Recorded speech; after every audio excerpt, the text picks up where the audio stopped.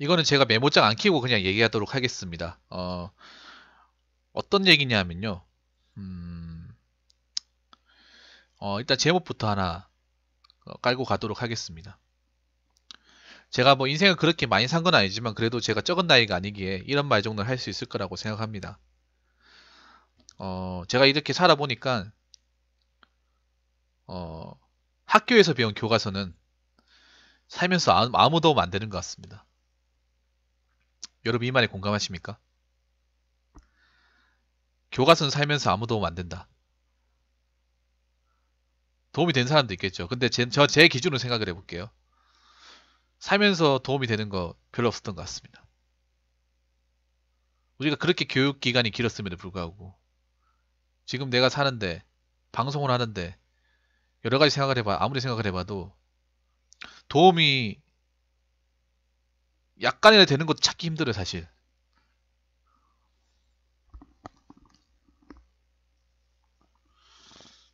어 근데 어느 누군가는 도움이 됐겠죠. 근데 어느 누군가는 뭐 예를 들어서 뭐 공부를 워낙에 잘하는 사람, 공부를 워낙에 잘하는 사람 도움이 됐겠죠.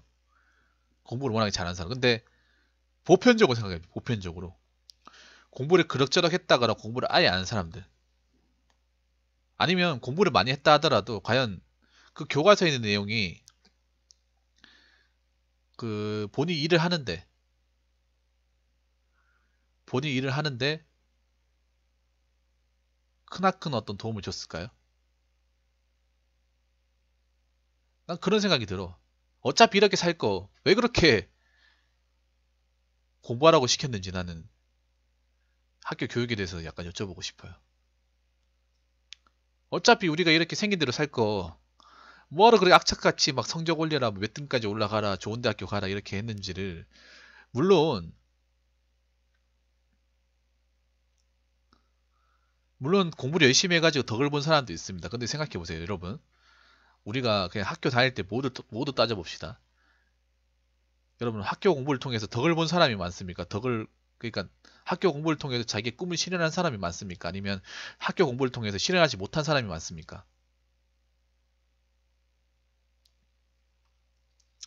저는 제 답을 말씀드리면 저는 실현하지 못했어요. 완전히 실현하지 못했습니다.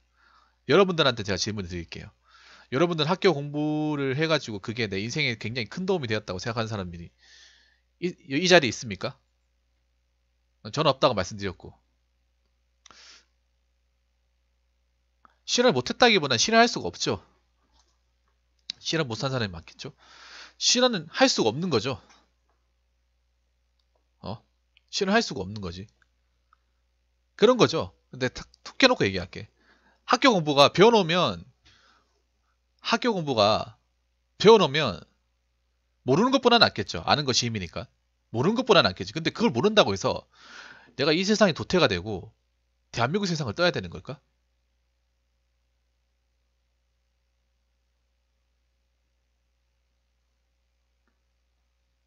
예를 들어서 내가 수학의 함수나 미적분 모른다고 해서 계산기조차 뚜르게 되지. 어? 회사에서 일도 못하는 거야?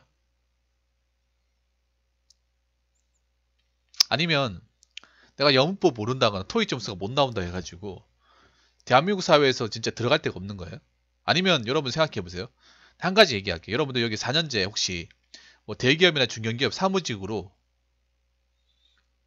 사무직으로 들어가신 분들 중에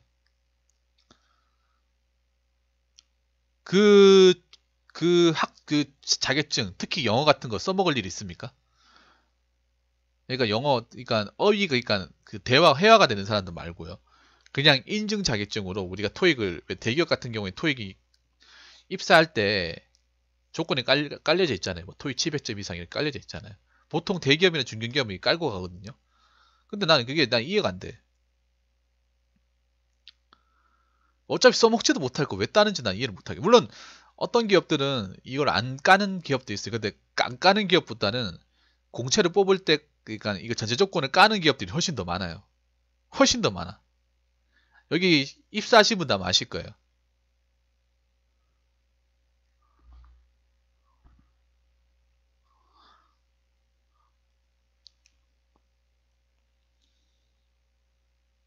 근데 들어가서 그걸 써먹습니까? 안 써먹잖아. 어? 그 외, 원어민 사람들도 인정하잖아요. 왜 배우는지. 그러니까 한국 사람들이, 원어민 사람들이 제 이해 못하는 게 뭐냐 하면, 우리나라 교육 방식 이해 못하는데, 그 중에 가장 이해 못하는 것 중에 하나가, 아니, 말도 못하면서 토익을 저거 왜 따는 건지, 자기들도 토익을 문제를 못 푸는데, 저거 왜 따는 건지 이해를 못하겠대요.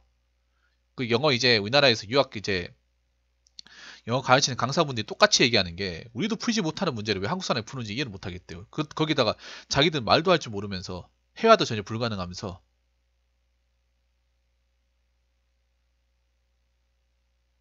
그거를 막 어, 책상에 앉아가지고 막 몇 점 더 올리려 그래 발악하는 거 보면 이해가 안 되겠죠. 진짜 나도 이해도 안 될 것 같아. 나도 이해가 안 되는 것 같아. 그리고 우리나라 공부가 뭐가 잘못됐냐 하면 뭐가 잘못됐냐 하면요. 우리나라 공부, 공부가 보면 좀 보면 어 하고 싶어 하는 공부가 아니라 그냥 내가 하고 싶어서 하는 공부하는 사람은 전혀 별로 없을 거예요, 진짜. 하고 싶어서 공부를 했다. 근데 우리가 공부를 했던 이유를 가만 떠올려 봅시다. 공부를 했던 이유들은 대체로 이런 경우 부모님한테 혼날까봐 아니 쌤한테 맞을까봐 아니면 사회 도태당할까봐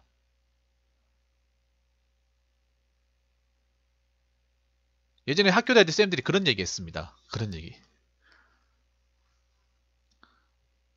특히 예전에 꼰대 쌤들이 제 학교 다닐 때 많았는데요. 그 쌤들이 저한테 어, 그러니까 우리 내 학교 다닐 때 어떤 얘기 하면 어?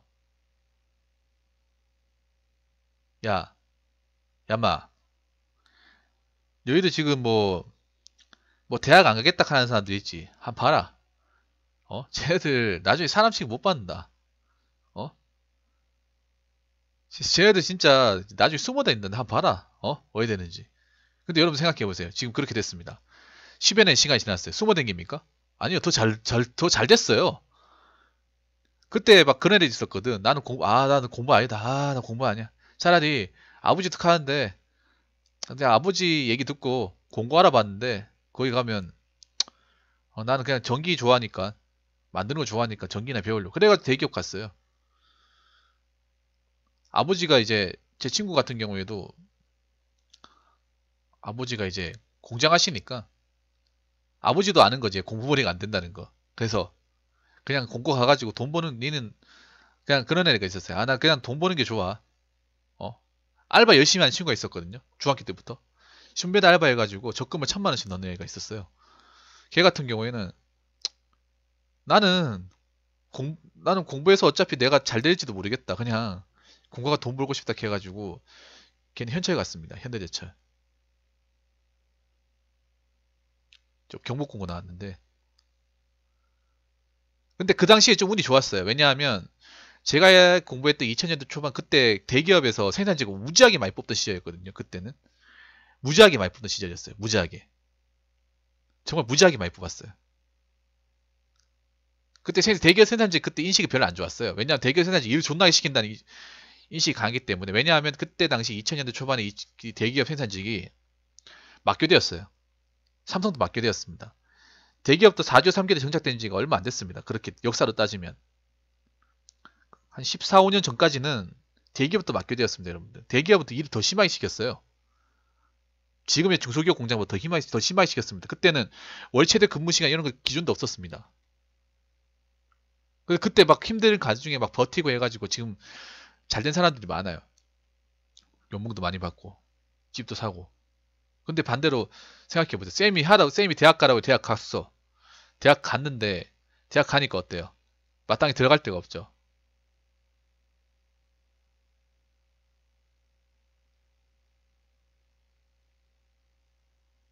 들어갈 데가 없으니까 어떻게 해요? 공무원 시험 보죠.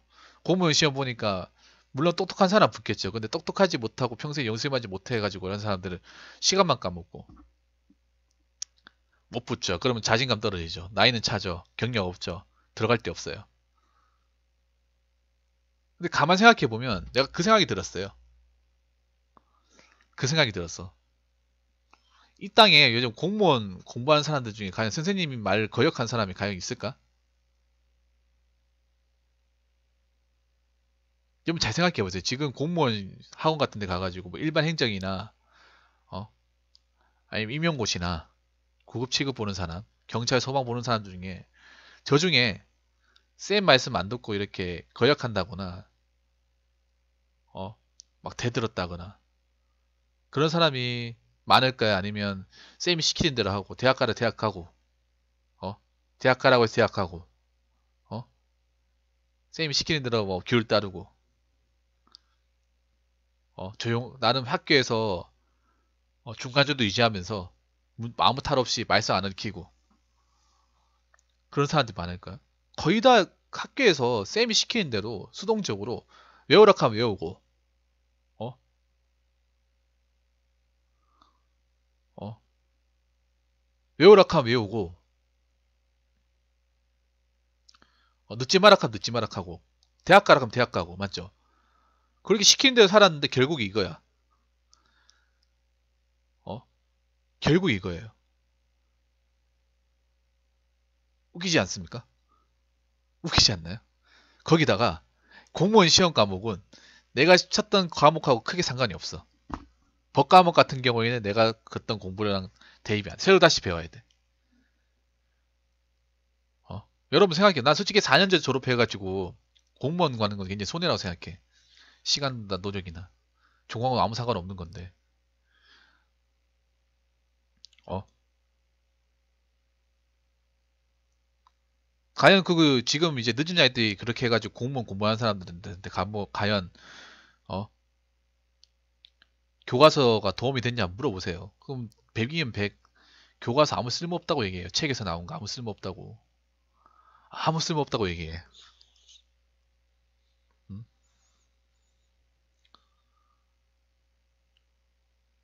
결국 실패한 방식이란 말이죠. 그리고 생각해봐요.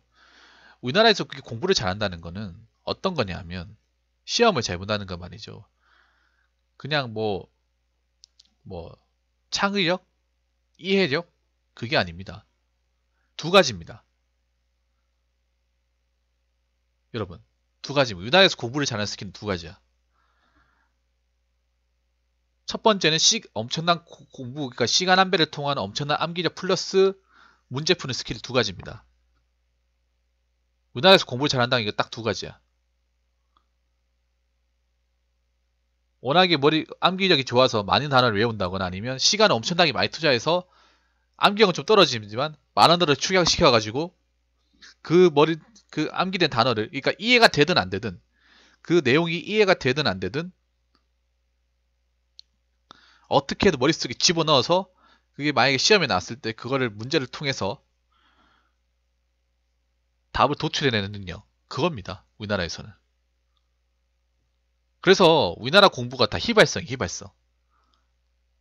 능감톨링 오세요? 우리나라 공부 휘발성, 휘발성. 휘발성이 뭔지 아시죠? 시간 지나면 날아가 버리는 거. 어? 시간 지나면 날아가 버리는 거. 타고난 머리가 있어요. 타고난 머리. 타고난 머리 있는 것 같은데 타고난 머리 몇 명이 될 것 같아? 반에서 한 두세 명밖에 없어. 나머지 다 도- 나머지 다 일반 머리고 딱히 따지면 돌머리도 없는 것 같아. 뭐 학교 다니면 공부 못한 돌머리라 하잖아요. 제가 내가 봤을 때 돌머리가 아니 단지 걔는 공부하고 취미가 없는 사람이지. 생각해 보니까 왜 꼴등하면 쌤들이 돌머리 에이 돌대가리 이 새끼 하면서 많이 때리는 사람도 있었거든 습관적으로. 어 쌤들 정말 잘못한 거야 그거는.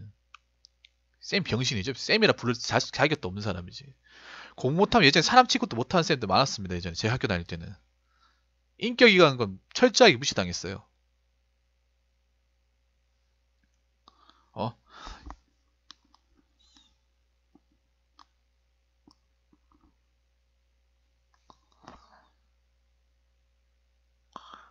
공부에 아니 공부 못한다고 그냥 생각이 더지다거나. 물론 특수반 애들도 있지 특수반 애들. 특수반 애들 빼고. 어? 특수반 애들 빼고. 특수반 애들 뺀 그냥 공부 공부 안 하고 성적이 떨어지는 애들이 걔네들이 지능이 워낙에 떨어지고 아니면 미래 미래에 대한 관심도 없고 어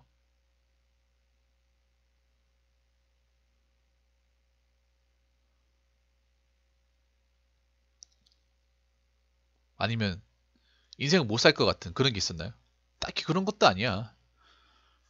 그런 것도 아니에요. 그럼 여러분 생각해요. 여러분 지금 학창 시절 때 배웠던 공부 떠올릴 수 있어요? 지금 메모장에 적을 수 있어요? 지금 내가 기억에 남는 거는 그 도덕 시간에 유리 쌤이 얘기한 거 몇 마디 말고는 도움이 안 돼요. 그때도 그 유리 쌤이 그런 걱정을 했었거든.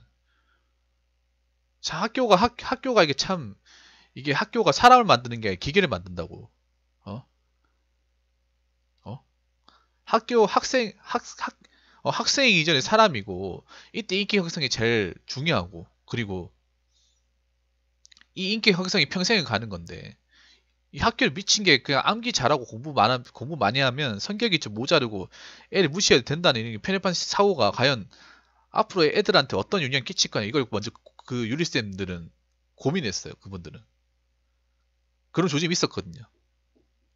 어? 왜냐면 윤리가 굉장히 outside 과목이잖아 사실 학교 다닐 때 여러분 아시죠? 맞죠? 윤리 과목은 잘해도 좋은 소리 못 들어요. 근데 윤리 정말 좋아했거든 도덕은 무조건 수 깔았어요 무조건. 근데 그분들이 걱정한 게 그거예요. 그때 쌤들이 걱정한 게 그거였어요. 학교가 사람 만드는 게 기계를 만드는 거. 암기 기계를 만든다고. 어? 그러니까 사람이 사람이 느껴야 될 감정을 모른다. 요즘 애들은 그걸 모른다 하더라고요. 그때 한 10, 10여 년 전에 그 유리 선생님이 유리 선생님이 요즘 애들은 감정이 없어. 어? 웃어야 될 때도 있고 울 때도 있고 저 때면 사춘기가 너희들은 사춘기가 뭐라 생각하냐 무조건 기쁜 게 아니라 울고 싶으면 울고 화내고 싶으면 화내고 그런 감정을 너희 때 정착을 시키는 게 사춘기인데 사춘기 때 울지도 못하고 웃지도 못하고 어 스스로의 감정에 통제받아가지고 그렇게 살면 과연 너희들이 어린이를 어떻게 살 것 같냐 그렇죠 시험 성적이 제일 쉬웠어요 맞죠 근데 웃긴 게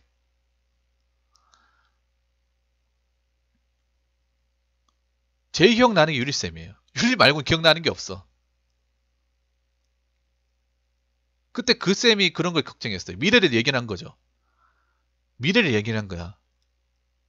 맞죠? 지금 현재 그렇게 됐잖아요. 하나도 안 틀리고. 좀 그렇게 됐어요. 그 선생님은 아마 정년 퇴임 하셨겠지. 그때 50대였으니까.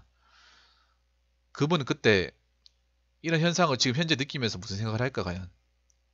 무슨 생각을 하실까?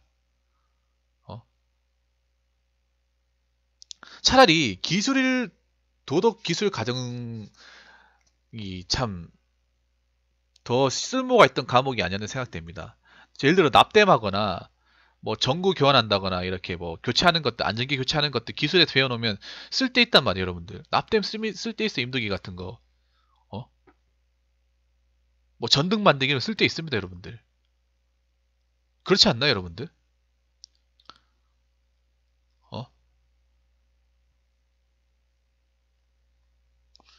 보통 도덕 기술 과정쌤들이 사람들이 선 쌤들이 사람 좋죠.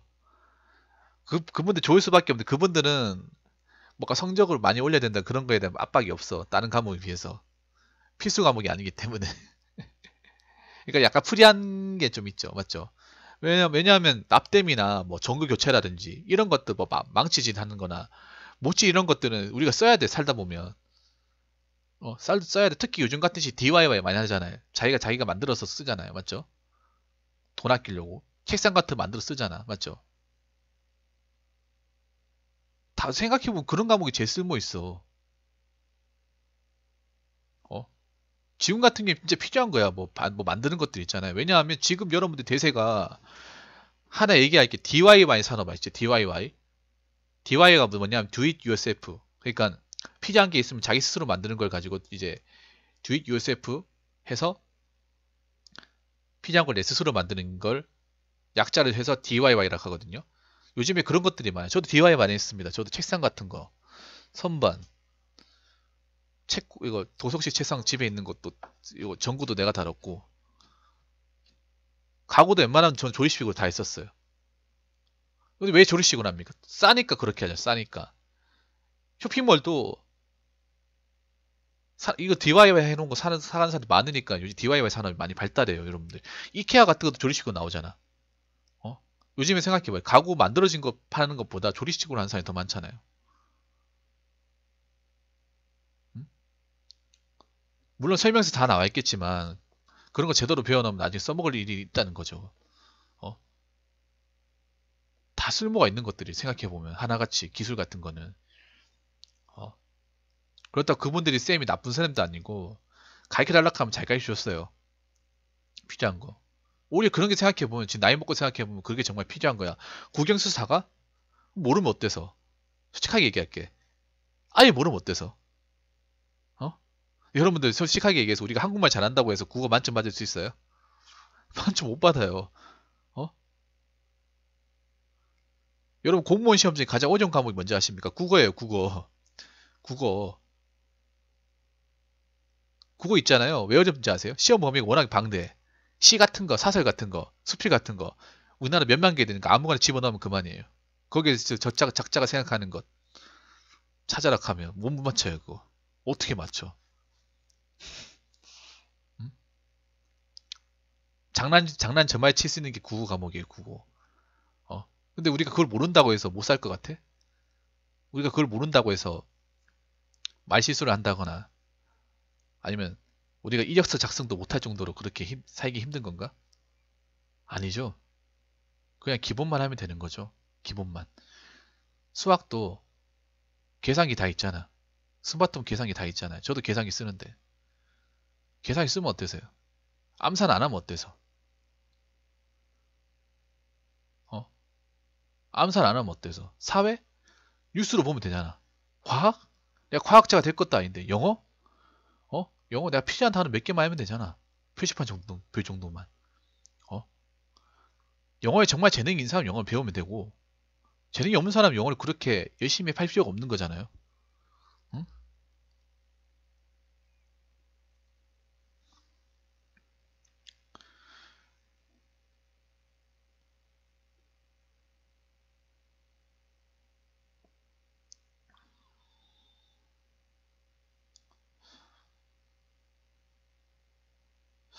정말 진짜 교육이 너무 역행하는 것 같아요, 사실. 진짜로. 맞죠? 어차피 우리나라 같은 경우에는 실용성 있는 교육을 배울 수밖에 없어. 배워야 되는 나라예요. 어?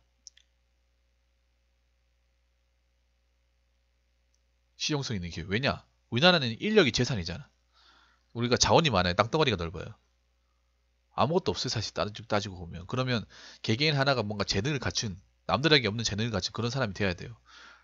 저같이 뭐 저 같은 경우에는 남들한테 게임을 보여줄 수도 있고 이렇게 말할 수 있는 재능 이거 남들한테 가질 수 없는 재능이잖아요.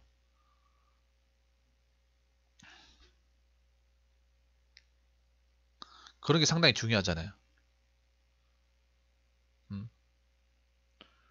내가 제일 이해 안 되는 말 중에 뭐냐 하면 살다 보면 쓸 일이 있다 하는데 뭐 배워놓으면 쓸 일이 있다 하는데 쌤들이 그런 말을 많이 했어요. 야 이거 배워놓으면 나중에 분명히 쓸 일이 있으니까 꼭 배워나라 하는데 쓸 일이 없어요. 아직까지 쓸 일이 단 한 번도 발생하지 않았어. 지금 발생하지 않았다는 건 앞으로도 발생하지 않을 가능성이 높다는 거예요. 어. 우리나라에서 프로그래머나 엔지니어 한 사람 몇 명이 되겠어? 어? 차라리 계산기 사용법이나 그런 거 실용성 있는 걸 배우는 게 먼저 낫지 않나? 차라리 그 어린 나이 때 빨리 배워놓으면 오히려 그 실무적인 능력이 더 팍 트인다고 해야 되나? 그렇지 않나요? 오히려 나이 먹은 상태에서 배우려고 하면 더 머리 터지잖아, 맞죠? 머리 이미 돌, 머리 이미, 어, 머리, 머리, 머리 이미 성장이 멈췄고, 어, 이해도는 따르, 따르고, 나이가 들이 눈도 흐리멍텅해. 맞죠? 오히려 정신이 팔팔한 중고생 때 그걸 제대로 배워놓으면 사회에 가서도 더잘 써먹을 수 있단 말이죠. 어? 이미 공부로 곤죽이 되고 군대로 곤죽이 된 상태에서 나이는 나이대로 먹고 어 순수한 생각보다는 자생각이 가능한 그런 나이 때 배우려고 하면 더 머리 터지잖아요. 어 맞잖아요. 중학교 때는 공부 어 뭔가 내가 어 내가 싫어 내 공부가 싫어서 그렇지 내가 좋아하는 건 빨아당길 수 있잖아.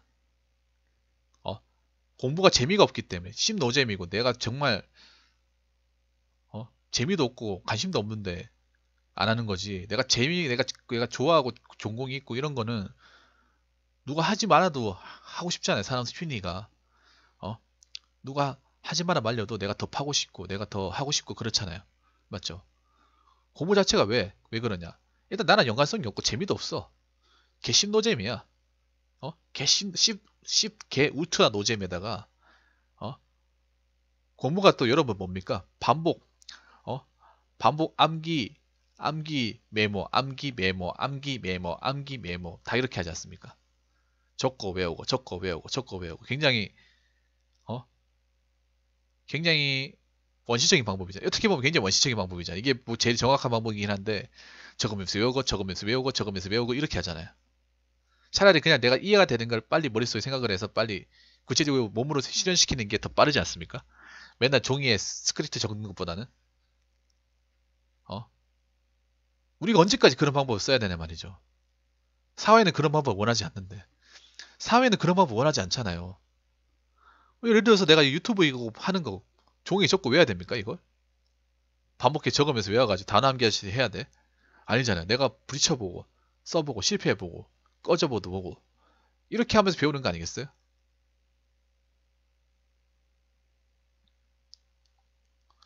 맞아요. 프로게이머, 프로그래머가 뿐인데 영어가 안 된다고요? 영어는 그냥 거기에 필요한 툴만 알면 되는 거 아니야? 거기 명령어, 프로그램에 필요한 명령어만 그 거기 필요한 단어만 몇 개 알면 되는 거 아니에요? 어. 그리고 그 정도 단어는 일반적인 일반적인 중학교 수준만 되면 다 알 수 있는 단어 아니에요? 엄청난 막 영문학과 나와가지고 굳이 토익을 따서 그 수준을 맞춰야만 가능한 건 아니잖아, 맞죠? 음? 저는 우리가 이제 막 공무원 공부하고 이렇게 우리가 필요 없는 어떤 교육을 필요 없는 교육을 받게 되고 이렇게 된 데는 이 우리 교육을 가르치는 교사들의 책임이 굉장히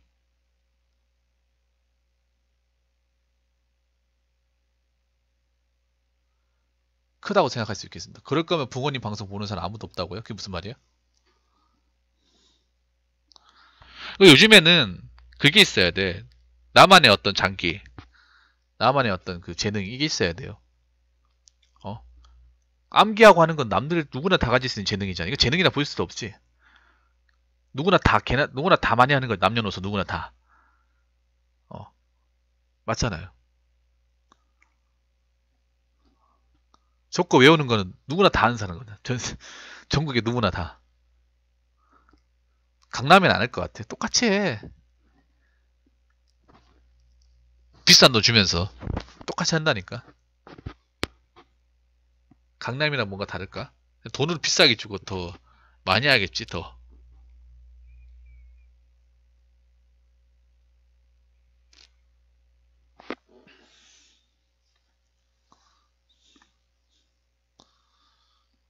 그래서 내가 이렇게 겪어보니까 차라리 교과서를 배울 시간에 조금만 우리나라 이제 교육을 가르치시는 분들이 인생을 더 가르쳐주고 인생을 가르쳐주고 좀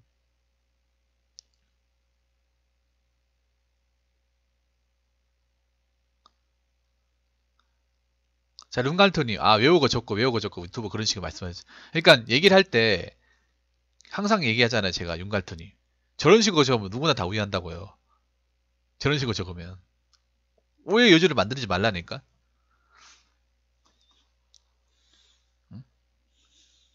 솔직히 뭐 강남에서 나온 청남도 이것도 솔직히 암기 머신이 암기 머신. 그러니까 그 사람들이 하는 건 비싼 돈 주고 암기를 더 빨리 할 수 있는 방법. 암기를 좀 효율적으로 할 수 있는 방법을 찾는 거예요. 왜냐? 우리나라 수능이 우리나라 시험 제도 같은 게 다 암기로 되어 있기 때문에 얼마나 많은 단어를 효율적으로 암기하느냐. 거기에 기술적인 부분을 비싼 돈 주고 받는 거예요. 근데 나는 굉장히 교육하신 분들이 어깨를 굉장히 사명감을 가지고 해야 된다 생각하는 게 정작 교육을 하신 분들이 그 방식을 고수하고 있다는 게 더 나쁜 거야. 생각해 보세요. 전남도 이런 사람들은요. 어차피 시험은 암기야. 암기하기 싫잖아요. 그럼 어떻게 하면 더 빨리 하고 더 효율적으로 할 수 있느냐 이거죠. 그 방법을 거기서 가르쳐 주겠죠. 더 이해를 시킨다든지 하는 방법으로. 그래서 돈, 돈을 더 비싸게 받죠. 아니 쪽집게처럼 이게 나온다. 한국 교육 자체가 주의식 교육으로 맞춰져 있고 계속 그러고 있으니 절대 안 바뀌죠. 맞아요. 특히 이걸 왜 안 바꾸냐 하면 생각해 보세요. 이걸 하나만 얘기하고 마칠게요. 이거를 교육 자체를 안 바꾼 이유는 교육을 바꿔버리면 이미 이, 이, 이 주의식에 익숙해지는 어떤 직업을 가진 사람들이 피해를 보기 때문에 이 기득권자들이 반드시 피해를 봐요. 피해를 보고 그 사람들이 변화, 엄청난 변화와 노력을 해야 되는데 그 사람 자체가 변할 생각이 없어요. 그게 핵심이야. 우리나라 실전주의 교육이 정말 필요한데요. 정말 필요한데 진짜, 진짜 중요한 거는 이 교육권을 쥐고 있는 사람들이 자기가 그걸 많이 바꿔버린 자기들이 바뀌어야 되고 자기들이 피부해야 되고 자기들이 희생과 노력을 해야 되는 걸 뻔히 아니까 그게 하기 싫은 거예요. 기존에 있는 게 그냥 편하게 놔두지 왜 바꾸냐 이거죠. 맞잖아요 여러분들. 내가 이렇게 왔는데 내가 이렇게 해가지고 여기까지 왔는데 왜 굳이 바꾸냐 이거죠. 난 솔직하게 교육부 장관이 그런 교육제에 있는 사람 뽑으면 안 된다고 생각해. 뭐 교육부 장관이라든지 아니면 교육감금 이런 사람들 뭐 교육청에 근무한 사람들 일찍 뽑으면 안 돼. 그 사람들 다 뭐야?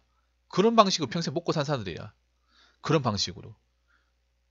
실전 교육에 실전 교육이나 자격증을 많이 따거나 기술자 기능장인 사람들 올라가야 된다고 생각해요. 맞잖아요. 이미 그, 그 시절에 어떤 뿌리가 굉장히 박힌 꼰대 같은 사람이 자꾸 장관이나 교육방 하니까 씨 안 바뀌는 거야. 그, 그 사람들이 생각해보세요. 그 사람들이 제도를 바꾸려면 자기들이 희생을 엄청나게 많이, 엄청난 희생과 마인드, 그동안의 마인드, 그리고 그동안의 교육 방식을 싸그리 갈아엎어야 돼요.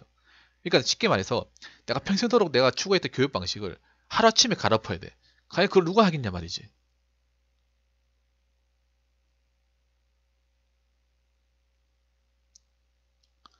그걸 누가 하겠냐고요. 심지어는 그런 걸 가지고 그런 걸 생각해 보세요. 누가 바뀌고 누가 그걸 하겠냐고요. 그냥 내가 하던 대로 그냥 편하게 하면 되는데 내가 이걸 먹고 살았는데 어? 미쳤다고 이거 바꾸냐? 어? 그 사람들이 바뀔 생각이 없는 거예요. 절대로.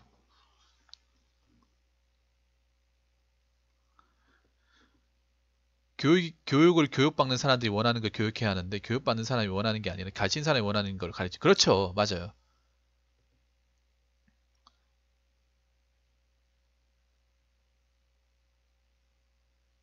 그러니까 그런 거지. 이미 교육을 받은 사람이 그게 편하니까 그걸 안 바꾸는 거예요. 안 바꾸니까 지금 공부하는 사람들이 그냥 솔직히 배워도 필요 없는 공부를 하는 거야. 쉽게 얘기해서. 배워도 필요 없는 공부를 하는데 배워도 필요 없는 공부를 하니까 어떻게 됩니까? 막상 졸업했는데 쓸데가 없어요. 시간만 낭비해버린 거야. 어? 막상 시키는 대로 대학 가라 대학 가고 대학 가서 학점 따라 학점 따고 했는데 막상 들어가려고 하니 경쟁이 너무 치열해. 문과 나오고 있는데 막상 들어갈 데가 없어.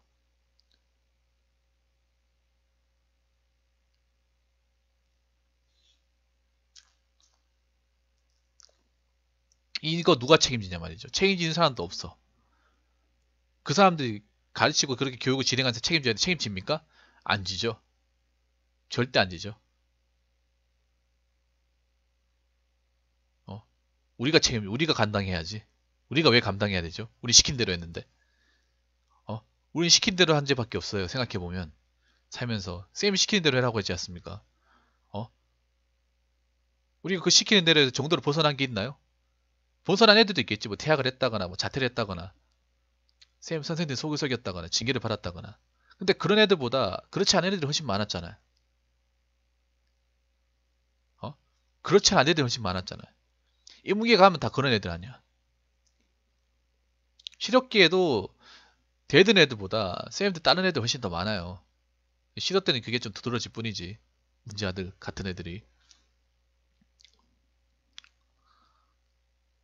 정말 시키로 한 시키는 대로 했는데 결과가 왜 이렇게밖에 안 나오냐고.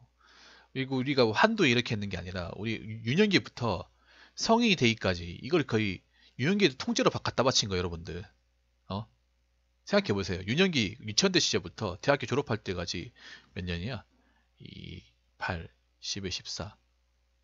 뭐 점되면 16년이고 4년 전 18년인데 18년 동안 우리가 그냥 이 교육에 완전히 그냥 유년기를 갖다 바친 거예요, 그냥. 성인이 되기까지. 갖다 바치는 대가가 이거야. 너무 처량하지 않습니까? 거기에 돈과 시간, 노력.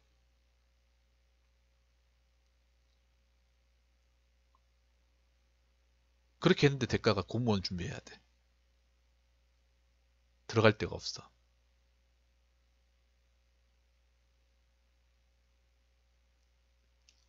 인생의 낭비 우리가 한 게 아니라 우리를 하게끔 만든 거죠 교육이 어 인생의 낭비를 우리가 한 게 아니라 우리가 스스로 한 거라고 생각할 수도 있지만 이걸 이걸 역으로 생각해 보면 우리가 하게끔 만든 거죠 교육이 지금 교육이 우리가 인생의 낭비 한 것처럼 우리가 우리가 죄인인 것처럼 우리 자신이 후회를 하게끔 만든 거죠 어 그럼에도 불구하고 이 똑같은 방식을 아직도 고수하고 있다는 게 더 무서운 거죠. 우리는 이미 나이가 먹고 철이 들었으니까 나이가 먹고 철이 들고 세상을 좀 아니까 이게 잘못됐고 이게 정말 쓸모없는 거고 어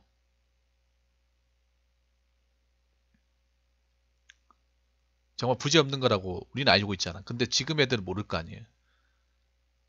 학교란 울타리 안에 있으니까 선생님이 하는 게 다 답인 거 같고 시키는 대로 해야 되고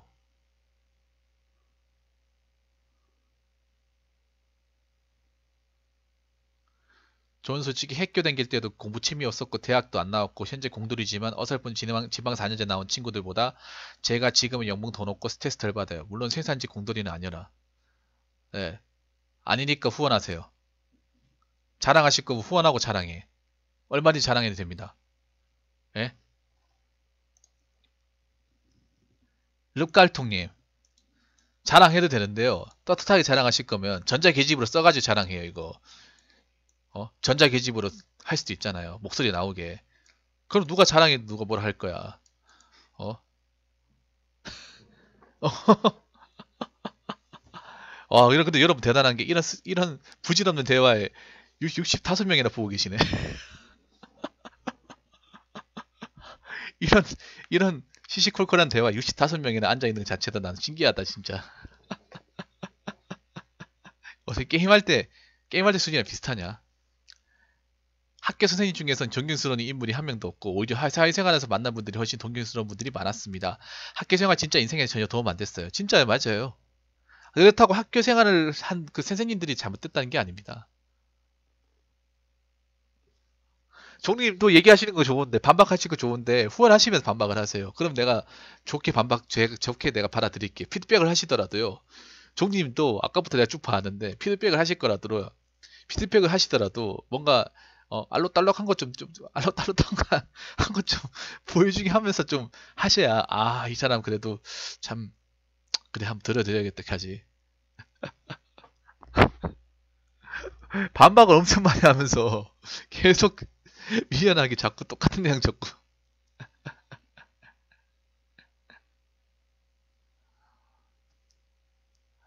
아, 아이스텍이었구나. 아, 예, 반갑습니다, 이재용님. 그러면서 왜 자랑을 해요? 자랑을. 그러니까 어, 참 안타까운 거죠. 여러분 그런 생각 안 드십니까? 그런 생각 안 들어요? 그 차라리 학교 살때더 놀 걸, 더 땡땡이 칠 걸, 어? 시험 공부 더 안 할 걸. 아 이렇게 될 것 같으면 공부를 나는 그 생각이 들어. 왜 그런 생각 하시죠? 여러분들 왜 지금 왜 공부 안 해서 후회하시는 분들 아 공부해가지고 대학교 좋은 대학교 갈 걸. 다시 돌아간다는 여러분 그렇게 될 것 같습니까? 이미 이렇게 어 그렇게 된다고 해서 다 그렇게 될 것 같아요. 여러분 진짜 솔직히 까놓고 얘기하자. 뭐 그런 후회하는 사람도 있죠. 내 팩톡으로 얘기할게. 어? 아, 내 진짜 내 다시 고등학교 돌아가면 진짜 밤새도록 코피 터지듯이 공부해가지고 서울대 스카이 어? 스카이 가가지고 어? 팔자 필 거야. 팔자 피겠어요? 누구든 그 다 똑같은 생각 안 하니까 차라리 나는 그 생각할 것 같은데 이왕 이렇게 됐고 아예 째고 제대로 놀자. 그냥 어? 학교 결승만 하지 말고 어? 개, 난 개근상만 받으면 돼. 개근상만. 개근상만 받고 어, 시험 때 째고 그냥 PC방 가고 더 게임 열심히 할 걸. 더 게임 열심히 하고 어?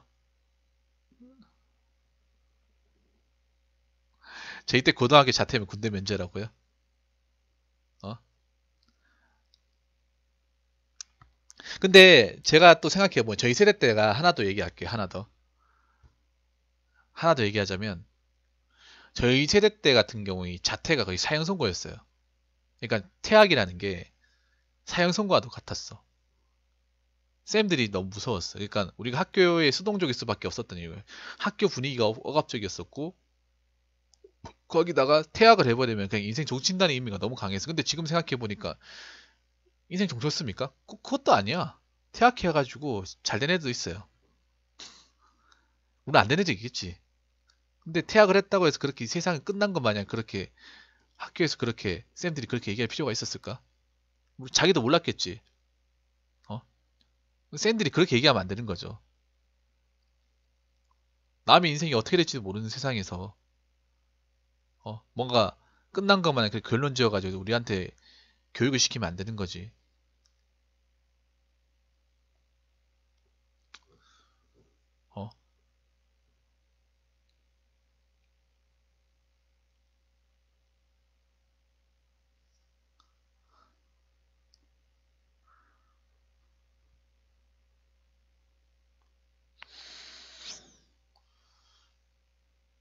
그래서 어, 제가 정리할게요. 이제 너무 얘기가 길어지니까 얘기가 길어지니까 음, 더 이상 얘기하면 이제 의미가 없을 것 같아요. 아, 종님 후원하는 모습 보고 싶은데. 아,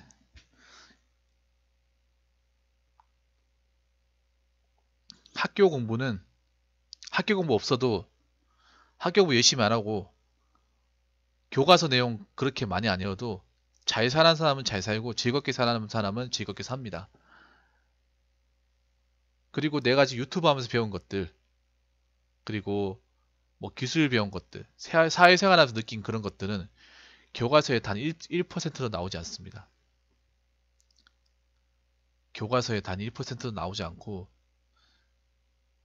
왜 그 교과서를 교과서 안에 왜 그걸 담아내지 못했는지에 대해서는 교육을 담당하시는 분들한테 묻고 싶습니다. 진심으로. 그리고 그렇게 많이 배워서 우리가 얻을 수 있는 게 뭔지 진짜 묻고 싶어요.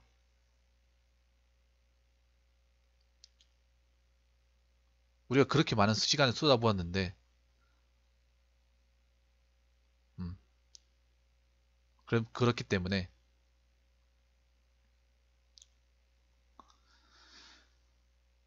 학교 공부 못한다고 해서 인생 끝난 거 아닙니다. 다들 그렇게 하시면 되겠습니다.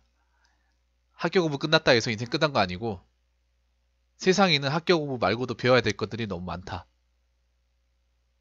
학교 공부에 얽매이지 않고 세상에서 배운 것들로도 충분히 잘 먹고 잘 살 수 있다. 저는 그 말씀을 드리고 싶습니다. 자, 이상으로 영상 마치도록 하겠습니다.